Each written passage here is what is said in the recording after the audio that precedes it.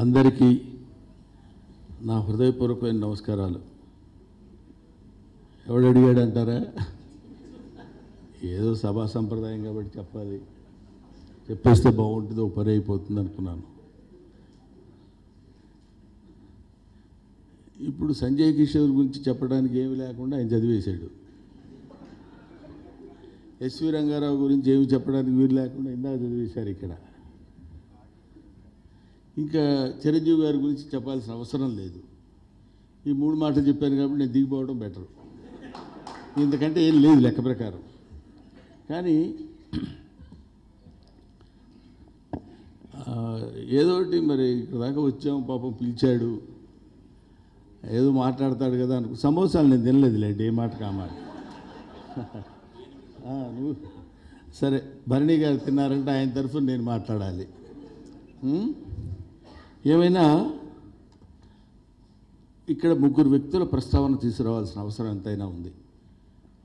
దాతలు ఎంతోమంది ఆర్థిక పరంగా సహాయం చేసిన వాళ్ళు మానసికంగా ఎంకరేజ్ చేసిన వాళ్ళు తమ్ముడు సంజయ్ కిషోర్ని ఎంతగానో పాపం అతను చూస్తుంటే ఒక్కోసారి ఇంత కష్టపడుతున్నాడు ఎందుకు కష్టపడుతున్నాడా బాబు ఇతను అన్న ఫీలింగ్ కూడా కలుగుతుంది.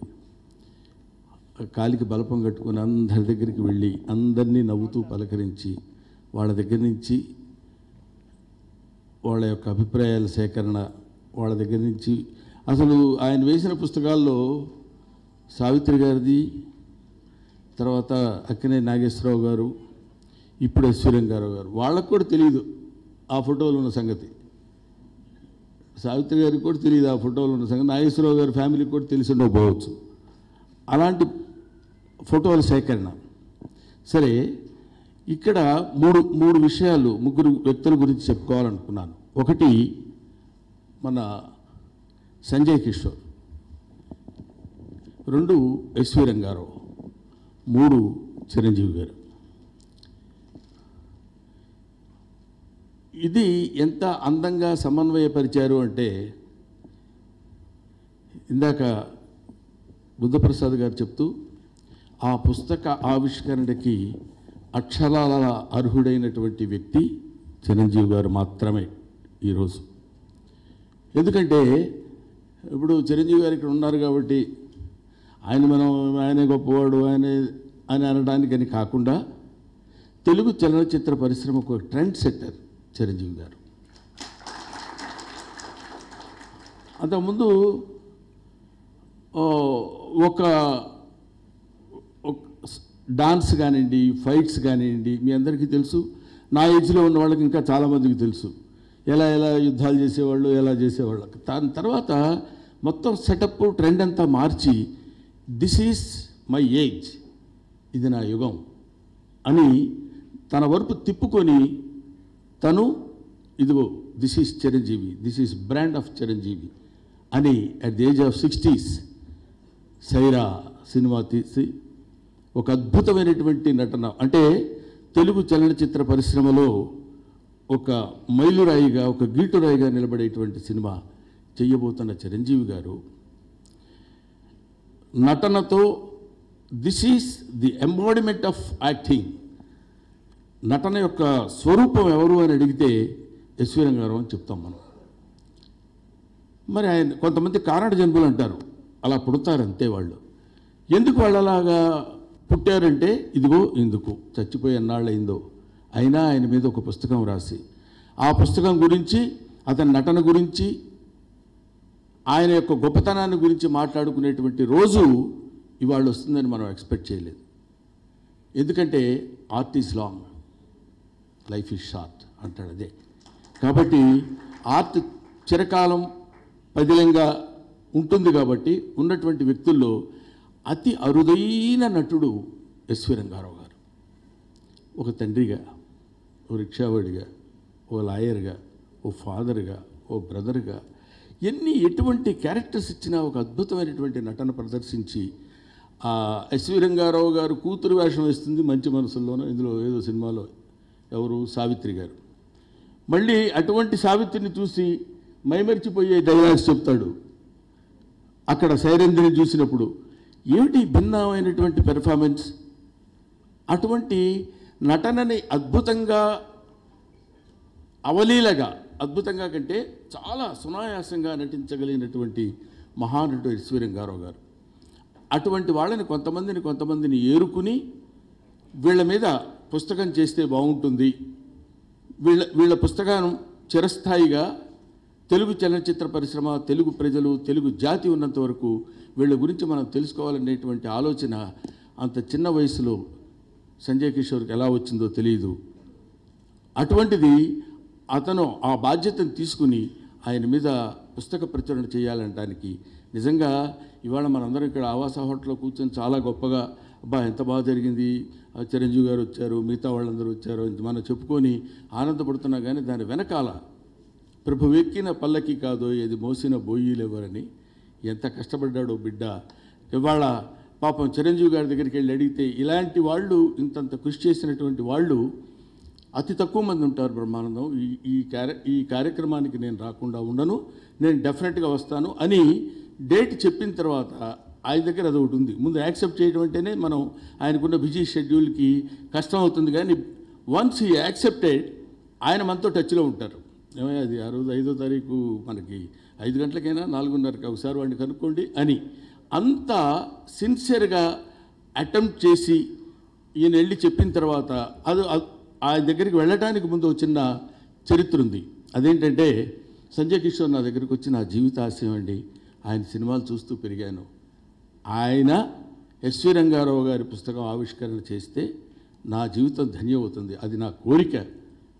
ఈ మీరు దయచేసి ఆ కోరిక నాకు తీర్చండి అని. నన్ను అడిగితే నేనైతే రమ్మంటే వచ్చేస్తానయ్యో మరి అక్కడికి వెళ్ళాలి కదా ఆయన ఏమంటారు అని ఊరికే సరదాగా నవ్వుతూ మాట్లాడి పొద్దున్నే వెళ్ళి ఆయన దగ్గర పర్మిషన్ తీసుకుని వెళ్తే ఈజ్ కైండ్ ఇనఫ్ తప్పకుండా వస్తాను ఇలాంటివన్నీ ఇలాంటి ఇలాంటి ఫంక్షన్స్కి రావాల్సిన బాధ్యత ఒక నటుడిగా నాకు ఉందని చెప్పి ఆయన వచ్చారు. ఆయన రావాలనేటువంటి ఆలోచన మనం పిలవగానే వచ్చి ఆశీర్వదించాలనే ఆలోచన కలగటం చాలా గొప్ప విషయం. సభాముఖంగా నేను ఒక చిన్న విషయాన్ని మనవి చేస్తున్నాను సంజయ్ కిషోర్కి. మీకు చిరస్థాయిగా ఉండిపోవాలంటే చాలా పుస్తకాలు మీరు అద్భుతమైనటువంటి నాగేశ్వరరావు గారిది కానీ సావిత్రి గారిది కానీ ఈశ్వరంగారావు గారిది కానీ వేస్తున్నారు. చిరంజీవి గారి పుస్తకం కూడా మీరే. ఒక అద్భుతమైనటువంటి దాన్ని both in English and Telugu ఆయన ఇంగ్లీష్ అండ్ తెలుగు అని నేను ఎందుకన్నానంటే హీస్ అన్ యాక్టర్ బోత్ అంటే ఆల్ లాంగ్వేజెస్లో చేయగలిగినటువంటి వ్యక్తి అంత శక్తి సామర్థ్యాలు ప్రతిభా పాఠవాలు ఉన్నటువంటి వ్యక్తి చిరంజీవి గారు అంతటి నటుడు ఆయన. ఆయన్ని ఇంటర్నేషనల్ స్టాండర్డ్స్లో కూడా ఆయన గురించి తెలుసుకోవాలనేటువంటి అభిప్రాయంతో చేయాలని అంటే డెఫినెట్గా నేను ఐ విల్ డూ దట్ అండి అని సంజయ్ కిషోర్ నాకు ప్రామిస్ చేశారు. అది యాజ్ ఏ తొందరపడటం అనేది సంజయ్ కిషోర్ దగ్గర అసలు కుదరదు. ఇక్కడి నుంచి అక్కడ నడవటానికి టూ అండ్ హాఫ్ అవర్స్ తీసుకుంటాడు. అంటే నడక ఎలా ఉందంటే ఇక పుస్తక ప్రచురణ అంటే ఈయనే ప్రచురిస్తున్నట్టు అట్లా కూర్చుని అలాగేనండి చేద్దాం అంటుంటాడు. కాబట్టి కొంచెం అతనికి ఆ సమయం ఇవ్వాలి. పర్ఫెక్షనిస్ట్ పర్ఫెక్ట్గా ఉండాలి. అతను చేసింది ఇంత తేడా కూడా ఉండకూడదు. ఏమంటే బీఆర్ఏ హెచ్ఎంఏనా బీఆర్ఏ ఎంహెచ్ఏ అని అడుగుతాడు నన్ను. బ్రహ్మానంద స్పెల్లింగ్. ఎందుకంటే అంటే అది పొరపాటు రాకూడదు కదా సార్ అని. అంత జాగ్రత్తగా ఉన్నటువంటి ఆ వ్యక్తి చిరంజీవి గారి బుక్ కూడా వేస్తే బాగుంటుందని నేను అతను రిక్వెస్ట్ చేసినప్పుడు తప్పకుండా మనం నేను అది నా బాధ్యతగా నేను ఎంతో సంతోషంగా నేను ఆ పుస్తకాన్ని నేను తయారు చేస్తాను సార్ అని అన్నాడు. అదొకటి ఆనందకరమైన విషయం. ఈ సందర్భంగా మీకు చెప్పాలనుకున్నాను. తర్వాత ఈ సంజయ్ కిషోర్ అనేటువంటి వ్యక్తి పరమ దుర్మార్గుడు. ఎంత దుర్మార్గుడంటే తనని తాను అంటే ఆహుతి చేసుకునైనా సరే తను అనుకున్న దాన్ని సాధించే వరకు వదిలిపెట్టడు. తర్వాత స్నేహశీలి ఎప్పటి నుంచో ఉన్నటువంటి వ్యక్తుల్ని ఎవరిని వదిలిపెట్టకుండా వాళ్ళందరినీ ఆహ్వానిస్తాడు. నేను అప్పుడప్పుడు అంటాను మన గ్యాంగ్ అంతా ఉంటే చాలా ముప్పై నలభై మంది మనవాళ్ళే ఉంటారు కదా అనేవాడు నేను. అలాగా వాళ్ళందరినీ పిలిచి వాళ్ళందరినీ సత్కరించుకొని ఎవరిని నొప్పించకుండా ఒక అద్భుతమైనటువంటి చలనచిత్ర రంగంలో ఎంతో అసలు మన చలనచిత్ర పరిశ్రమలో ఉన్నటువంటి వాళ్ళు ఎంతోమంది రచయితలు ఎంతోమంది దర్శకులు ఎంతోమంది ప్రొడ్యూసర్స్ ఉన్నారు. వీళ్ళు చేయాల్సిన పని ఒక్కడే అలా భుజానేసుకొని పని చేయగలుగుతున్నాడంటే నిజంగా సంజయ్ కిషోర్ అభినందనీయుడు. అతన్ని ఎంత అభినందించినా తక్కువే అవుతుంది. ఎస్వి రంగారావు గారి నటన గురించి ఎంత చెప్పినా తక్కువ ఎట్లా అవుతుందో అతని యొక్క పట్టుదల కృషి అది సామాన్యమైనది కాదు. అతను అలాగే కంటిన్యూ చేసి ఇలాంటి స్టార్స్ కరెక్ట్గా స్టార్ అయిన వాడి గురించి మాత్రమే వాళ్ళు ఇదిగో ఇది ఈయన చిరస్థాయిగా ఉండిపోవాలనుకునేటువంటి వాళ్ళ మీద పుస్తకాలు రాయాలి పుస్తకాలు తీసుకురావాలని నేను ఎంతో ఆశతో వారిని రిక్వెస్ట్ చేస్తున్నాను. ఒకటి. తర్వాత ఇందాక ఇచ్చినటువంటి దాతల్లో చాలామంది పేర్లు చెప్పారు. నిజంగా వాళ్ళ పేరు పేరున నేను చెప్పలేనేమో కానీ మా అమ్మాయి ఉంది అక్కడ జయమ్మ అంటే జయలలిత. ఇట్లాంటివి ఏవైనా ఎక్కడైనా జరిగితే మన సినిమా పేరేంటిది? మీ సినిమా పేరు? Sira. Sira.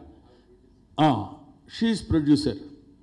చాలా ఒక మంచి దాన్ని ఏమంటారండి ప్రయోగాత్మకమైనటువంటి సినిమాలు కానీ ఏదైనా ఒక పని జరుగుతున్నదంటే నేనున్నాను ముందని తనకున్న శక్తి మేరకి సహాయం చేసేటువంటి వ్యక్తి జయలలిత. తను కూడా స్టేజ్ మీద ఉంటే బాగుండేదేమో అనిపించింది నాకు.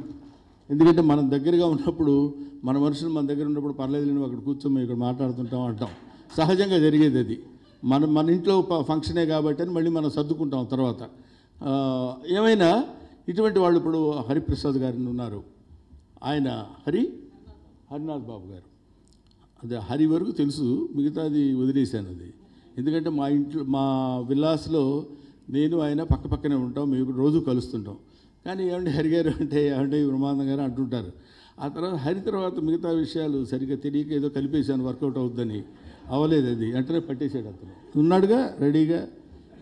సో ఏమైనా ఇటువంటి మంచి కార్యక్రమాలు ఎన్నో ఎన్నో జరగాలని ఇది ఒక గవర్నమెంట్ కూడా హ్యాండ్ ఓవర్ చేసుకుని ఇలాంటి విషయాల్లో ఆయనకు ఆర్థికపరమైనటువంటి సహాయాన్ని అందిస్తే ఇంకా మంచి మంచి పుస్తకాలు తీసుకొస్తాడని నేను మనస్ఫూర్తిగా కోరుకుంటూ ఈ అవకాశాన్ని కల్పించిన సంజయ్ కిషోర్ గారికి ఎస్వి రంగారావు గారికి మా అత్యంత ఆప్తులైనటువంటి మహానటుడు చిరంజీవి గారికి నా హృదయపూర్వకమైన నమస్కారాలు తెలియజేసుకుంటూ సెలవు థ్యాంక్ యూ